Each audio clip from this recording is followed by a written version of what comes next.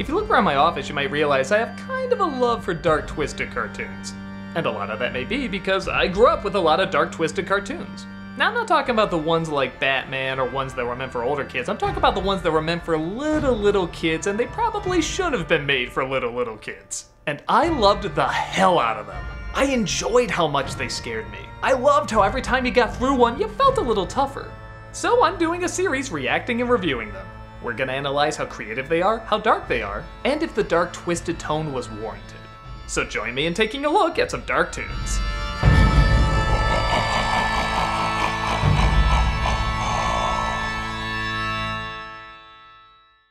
You ever wonder where Cuphead came from?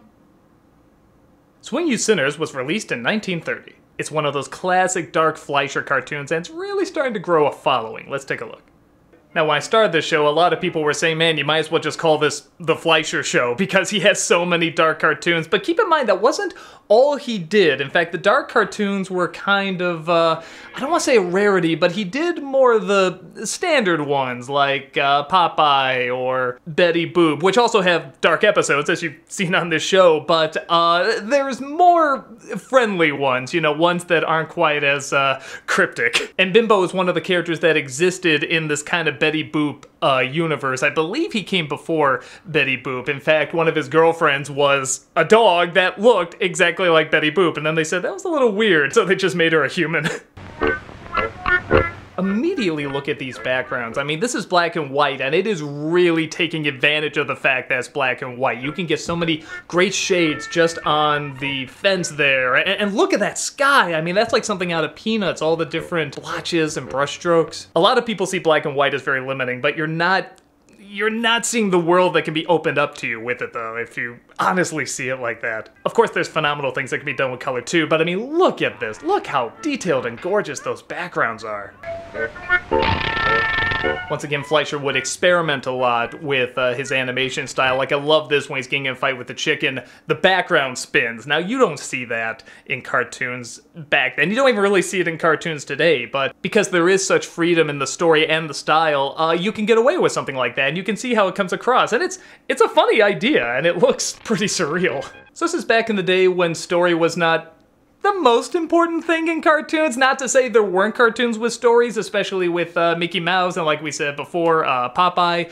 Uh, but then you have tunes like this where just the art of the animation was enough, because animation was still seen as uh, kind of this amazing thing. So you have something very basic, like Bimbo's chasing a chicken. He comes across a cop and then he stumbles into a graveyard.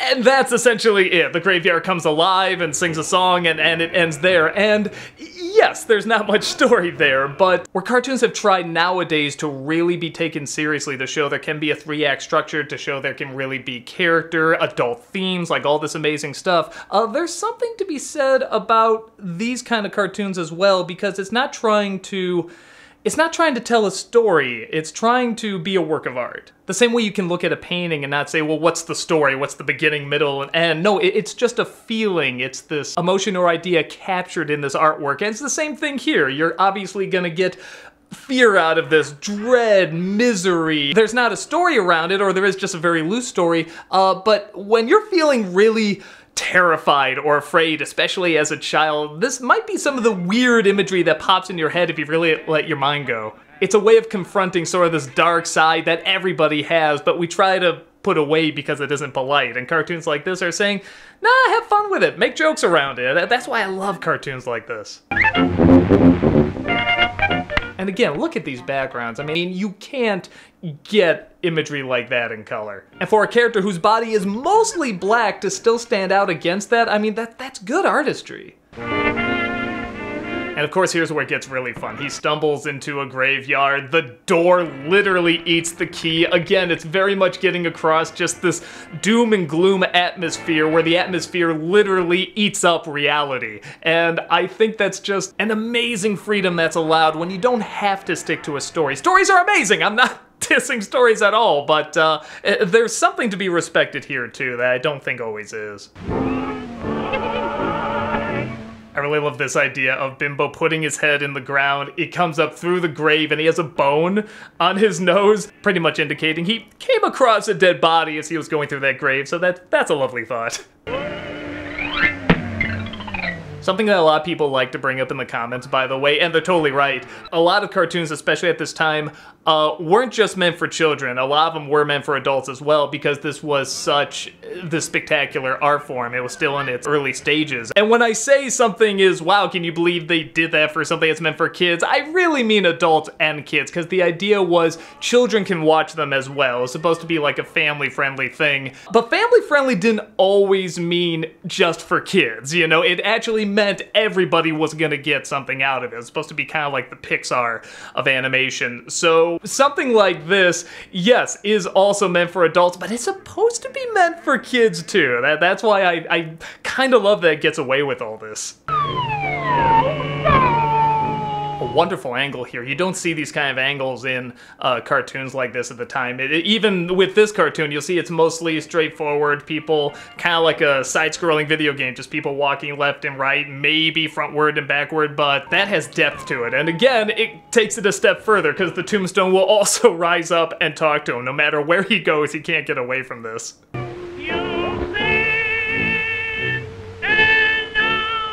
Starting to see the Cuphead influence here. I guess the creators of Cuphead said this is one of the cartoons they took a lot of inspiration from. I mean, not just this, clearly. The darker bimbo cartoons and Betty Boop cartoons, even I think the last level of Cuphead is called Swing You Sinners, but maybe that's why this is getting uh, more attention now and more people trying to uh, seek it out.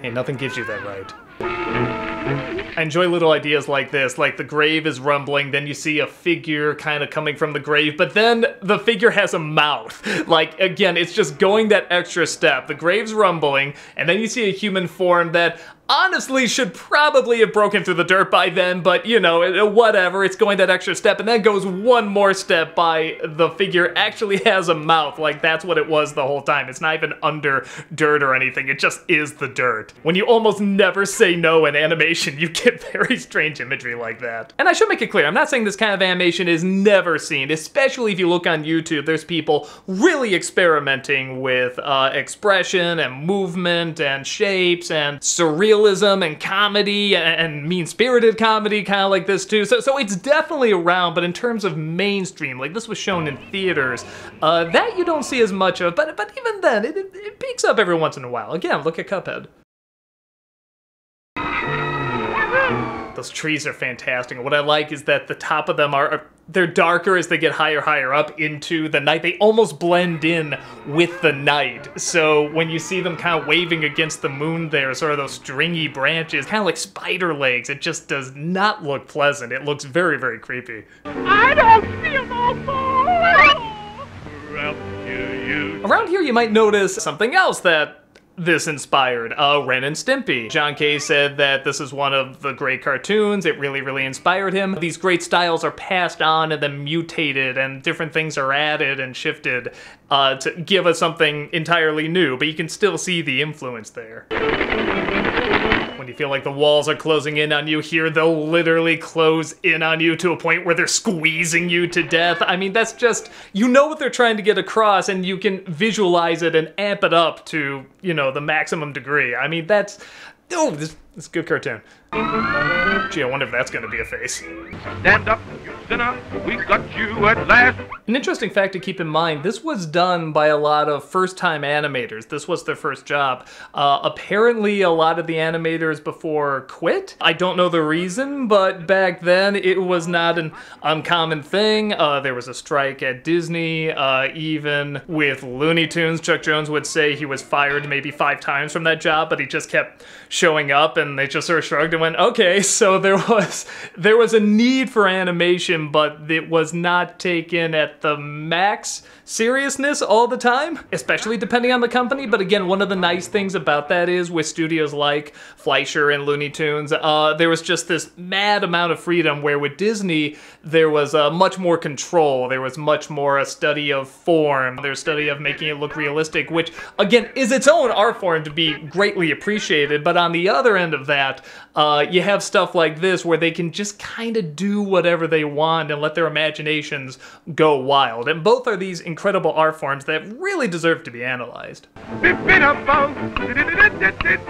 As you can see, as it gets deeper and deeper into becoming more and more uh, creepy and eerie, not just the characters become more distorted, but the backgrounds get more and more distorted. They start dancing with the songs. Nothing's really straight anymore. Everything's a little off and wavy. Look at the eyes on that thing. That thing is on something.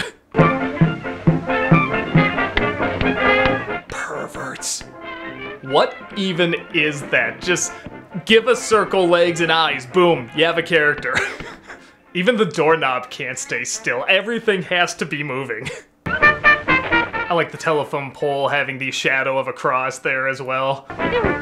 And right there, how can that not be a boss on Cuphead? Can't you just see shooting little bullets at that thing? And again, think back to like a Mickey Mouse cartoon, which are also, you know, phenomenal cartoons and great artistry, you know, groundbreakers, but uh, compare the faces on those to the faces here and you can see the wrinkles. You can see how stretchy they are. You can see how expressive they are. John K used to talk about pausing cartoons like Bob Clampett and uh, and this and even Ren Stimpy uh, and showing the movement in every frame and how every single time there's movement it's gonna be stretch it's gonna be exaggerated because the philosophy is why be real? We have reality for that you know? If you're gonna do a cartoon make it a cartoon. Go really big. Do everything you can with the art form. And I really feel like this cartoon is doing everything it can at the time, and it still shows. It's still really impressive to watch. Those faces are something right out of a nightmare. You can't make any excuse. Oh, They're all about the butt slapping in this. I'm not sure if that was a thing at the time, but if that does it for you. See, we're at a point now where there's not even a background. It's just black and smoke, and even Bimbo has pretty much disappeared. It's just these weird creatures coming out, making weird faces and moving very strange, and just experimenting with what you can do with shapes and movement and animation. Maybe what you would have And there you go. I hope you learned something. Again, not not at all focused on story, or maybe uh, 1% of it is focused on story. It's mainly an excuse to try something different, to experiment with moods and atmospheres, and obviously all those moods and atmospheres are very cryptic, very scary, very threatening, and fun too. I mean, they actually do have fun with this. It's not taken too seriously. This is a great cartoon that, again, inspired a, a lot of great work today. Ren and Stimpy, Cuphead, uh, Bob Clampett, all these great cartoons. I'd be shocked if even the Disney studio wasn't inspired by this too.